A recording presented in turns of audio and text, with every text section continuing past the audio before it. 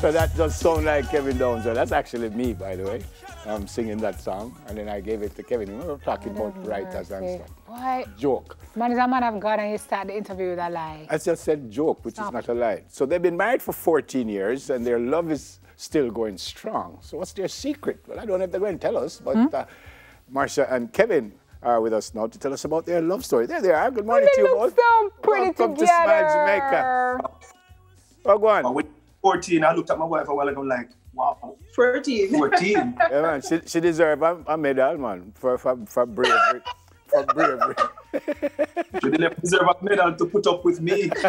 That's my point. Marsha, let me start with you. How did you guys meet? Wow. Good morning, Neville. Good morning, Daniel. Good Oh, morning, gee. Simone, Simone. It's poor me. Oh, Is that I'm right? sorry. It's okay. It's all right. It's all right. forgive me. Please forgive No, no, no. It's Come okay. It's okay. It's okay. It's okay. So how do you guys meet, Marsha? But yeah, that's another thing about marriage. You have to learn to laugh at yourself. Of course. We do how it did every day. meet? how did we meet? Well, for one, we um, uh, our churches are very close to each other. Um, He was off Maxfield Avenue. I was off Texton Road. We were in the choirs at our different churches. We Right. you know, go over each uh, other's church and minister. Then we met at UA. So that was just a you know casual meet.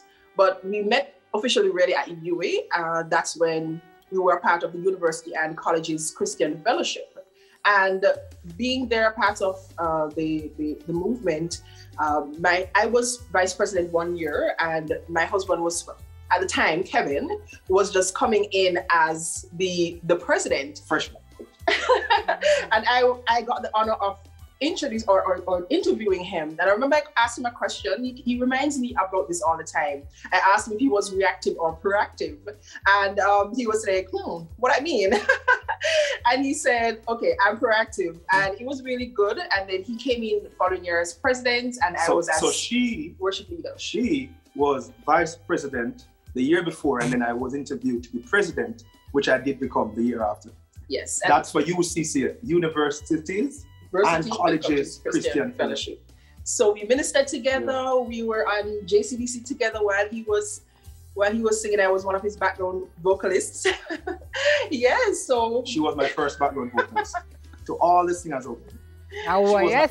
So you said that is a that is a fertile ground for um for love to be born and to th- behave yourself no way. So so Kevin, what was it about um Marsha that made you say this is the woman I want to spend the rest of my life with? you know, there's a few things that were evident. Um, she wasn't in a rush.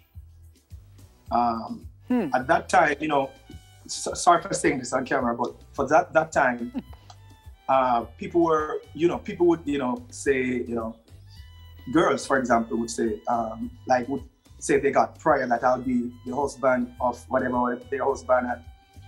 She, she, yeah, yeah, seriously. We would get, we would, I would get text messages or calls at first. We would say, their father uh, prayed, and you know, I'm supposed to be this. and it was it was crazy because I wasn't interested in, in a relationship at that time. But she was very patient and she was not interested either in in um in a relationship. Then she was just being supportive, she was just being a friend. And I think that that's one of the things that drew me about her. She she wasn't she wasn't after. Mm-hmm. She was relaxed and she, mm. she she knew who she was and she was confident about that. Yeah, 14 years on a quarrel. Every day. almost every day, not every So, day. no, but I'm being serious, man. On the don't quarrel every day, but we only quarrel about if we don't quarrel. We only quarrel about. I mean, um, everything. I mean, I mean, it, it, my wife, my wife, my wife is, my wife is, I think she has the most incredible. I don't. I, I think she's the first woman I met who forgives so easily and forgives quickly. So I'd be, so you know, I'd be like upset about something, and I got to and she's like, she got over it a long time. And I'm like, sweetie, couldn't be upset for another five minutes. I mean, just be upset with me for another five minutes. No, no, no. She's over it long time. Um, that that's just incredible about her. So she has helped in that area to just ensure that you know um, tension is never maintained in the house. relationship. How, and, and speaking of, like you guys work together too. So how do you maintain peace in the middle of what is often a stormy time with work?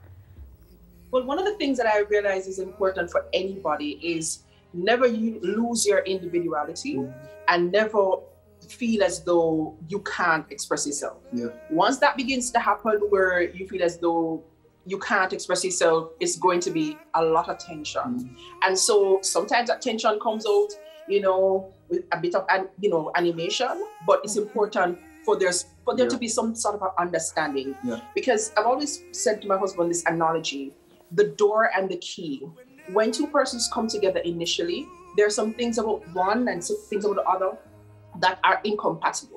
And just as though you're, you're, you're kind of creating the key to hold into the, the door, that's the process. That's a sieving down process through the years. Those are the tensions that you have to get over. And so as as the years go by, this, the key is being fit yeah. perfectly to the lock. So that's it. Quarreling is a part of it working together, there are going to be disagreements because we're two individuals, we're different persons. He has a different personality. He's more creative and you know all of that. I'm more structured. You know, you gotta get things in a certain order. the yin and yang relationship. I look at Kevin looking at you and I think, boy, look at it. The look of love is in his eyes. Um, when you look at her, sir, as Valentine's Day approaches, what song comes into your mind? I'm curious. Wow you know, uh, I, I, don't, I don't, I'm a writer. Yeah. I'm a, I'm a writer, and um, there's a sonnet I wrote a few years back um, that, you know, maybe would fit her. Um, God sent an angel. Hmm. Um, in earthly disguise, hmm. God sent a lady to be my wife. God sent a lover to soothe my soul. Thank you, Lord, for blessing my life. Hey! Oh, we, we can't, we can't, we can't end that. We can't end right there. Um, it, so, it, it sounds like Kevin sound like you've been listening to my lyrics with with my lady. No, serious, because it's so we stay. No, it's so we stay. I look at her and I just have some lyrics. God send yeah, you to me. Yeah. Um, yeah, me see it. Hey, yeah, me think. No. Shauna! Good to see you both. Um, God continue to bless the union and just uh, stay as, as sweet as you guys are. Kevin, you have an amazing voice and your wife obviously mm. helping mm. with your... We want to hear Marsha sing one day, please, yeah. and thank you. Uh, obviously, Marsha helps. Absolutely. but we have news. We have news, so um, we, we talk again. All right? Take care. God bless okay. you to you. Take yeah, man. Take care. Bye. All right. Uh, Marsha and Kevin Downswell, just like uh, Rooney and, and Neville. Eh, no? Yeah, man. News in five. Big tune. Right now. I'm just going to finish off. Remember, like what? You're the reason.